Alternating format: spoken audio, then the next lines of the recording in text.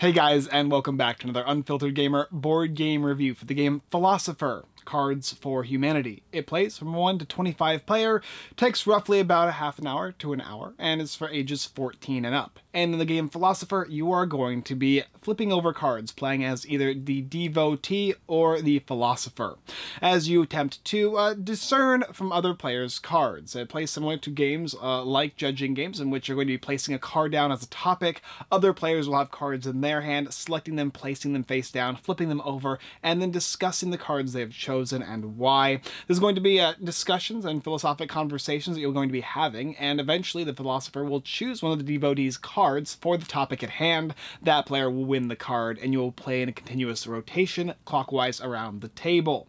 Go ahead and discern and discuss the cards that you play based on the topics, and give players points for placing the cards that you think best represent you or maybe your beliefs. In the game Philosopher, we'll take a look down below. I'll show you what comes in the game, and of course there's an to it as well. And then we'll come up and I will review the game, and you can go ahead and pick it up on Kickstarter if you're interested down below. Welcome to the game Philosopher, and here we have the base game along with the relationships expansion shuffled into both the topics set of cards and the viewpoint set of cards. What you're going to get in the game is of course two sets of cards, the box and the rules. Set them aside, shuffle them both, and then deal out seven viewpoints to each player playing the game. Then choose your first Philosopher to start the game. This player is going to take the top card of the topics deck and place it face up in front of them, and that player will be the philosopher for the round. Everybody else will be the devotees, and they are all going to select a card from their hand after they look at them and choose one and place it down based on what they think might represent the player and the topic and how it represents them or themselves. After they do that, then the player who is the philosopher will select one of those cards. That player who placed the card down will score the topic as a point, and you will go around the table continuing to do so. Very simple, very straightforward judging style game. So for instance, the topic is sacred. These three cards have been chosen by the other three players. They are then going to flip them over and reveal them, or if you want another variant, take all the cards and shuffle them up and then reveal them for a more anonymous aspect to the game. And this player will then go ahead and select one of those cards based on what they think is best represented by this specific topic. Die, uh, this is a deep river of doubt, climbing that mountain and spiraling downward. Uh, so you have to choose what you think is the best. Maybe Sacred would best represent climbing that mountain for you, in which case this player would be the closest to what they think represents this card. They would score the topic. All of these cards for the viewpoints would be discarded, and then each player that played a card would get to draw another card going back to seven cards, and the game would then continue with the next player being the philosopher, flipping over a new topic, emotion, and everybody else playing a card. And that's it. It's a very simple, very straightforward style game. What's different about this one compared to other ones, however, is the types of conversations you can have to try and discuss with the person that has the topic, the philosopher, why they should pick your card or how your card represents the topic at hand and based on why you think it represents that card. Uh, there's other variants of play as well, where you can go ahead and select one of these topics at random, take seven, choose choose one of those cards and you can kind of have conversational topics with it. Uh, in the rulebook itself, it will display the different types of additional gameplay modes, whether it be the one-player rules, two-player rules, a big group setting, or point slash counterpoint optional ruling. Of course, after the game is over, you're going to have all these topics left at hand, and you can end the game really whenever you'd like, or at a set number of topics when a player gets that many. But discuss why you got these topics and how they represent you, or what, what you think about them and how they represent the group. And the choices that they made, which makes for an excellent talking piece. This game is all about getting to know people, and there is a ton of different topics and viewpoints. I'll go ahead and read a couple of them now. That is delightful, down to the smallest core. This, uh, not in this country. Uh, read the stars no contradiction. There's more where that came from. Beautiful concept, and I don't ask questions. Uh, some of the topics, and they're going to be different based on the expansion. This one here is the relationships expansion, which is why it comes in red, and the base game for white.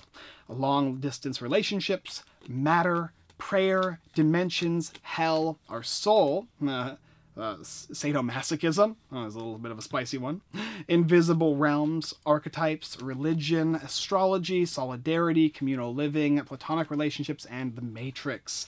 And so as you see, these topics are all very ideologically based and or they're, you know, philosophical points of view, in which case the game is going to play like that, continuing clockwise until you'd like the game to end, and whoever has the most points and or topic cards is the winner of the game. Let's go ahead and come up for my review.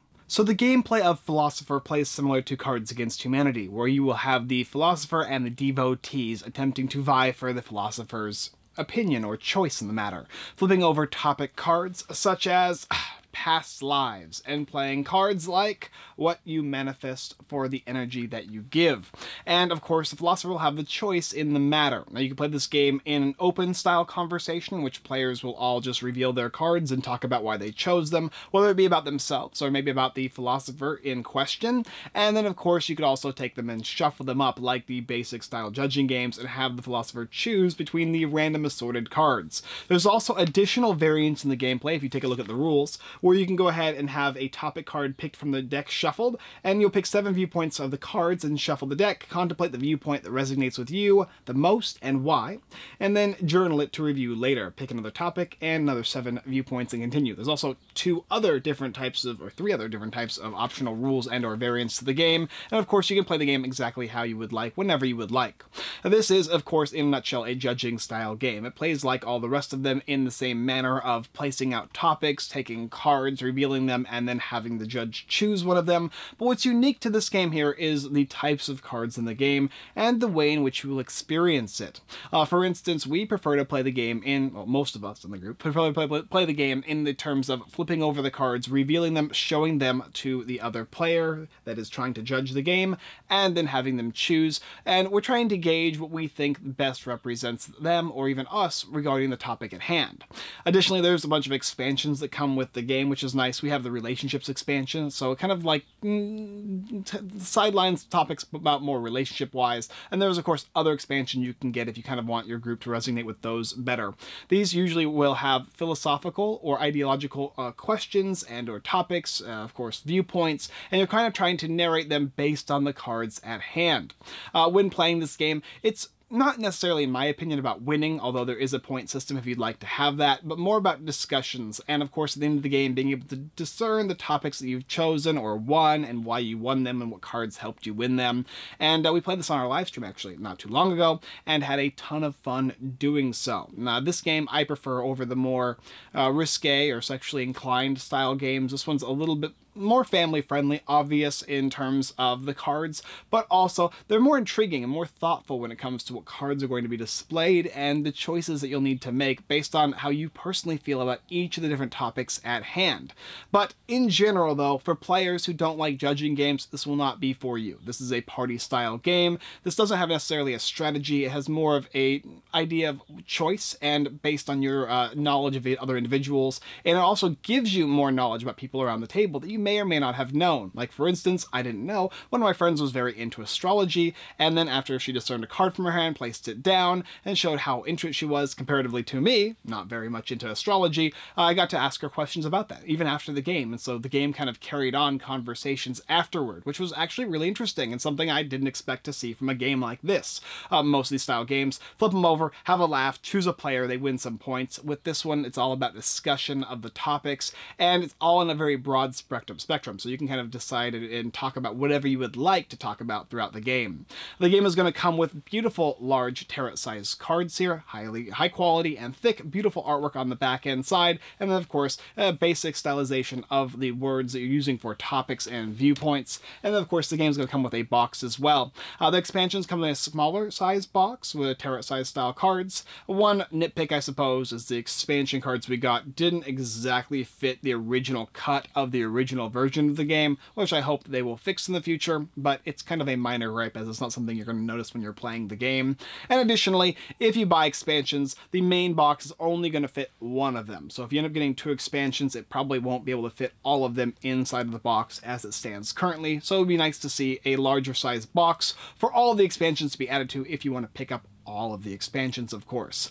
Thoughtful conversational topics, interesting uh, knowledge of your friends that you'll be gaining as you play the game, and it has some humor to it as well, which is nice when you're playing the game a game like these. You can be a little more funny, of course, if you'd like to, but I just kind of like the idea of it switching up and being more philosophical, and of course, utilizing, um, learning information from your friends that you may not have heard of before, known about before. And then the topics afterwards were so cool to have. That was something that I really, really liked about this game. But if you're interested in a judging style game, it's a little less on the sexual side and a little more on the thoughtful side. It's something that involves conversations and of course something that, that definitely plays. Um, I would say probably want I would want three to more three or more players can play this game. I probably wouldn't want to play one, two, or three players, although it does have variants for a lower number of players. It really, really shines as a larger party and or gathering or get together style game. And that's because you get to learn about more people. And that's what this game is all about, learning about other people and what they think about certain things.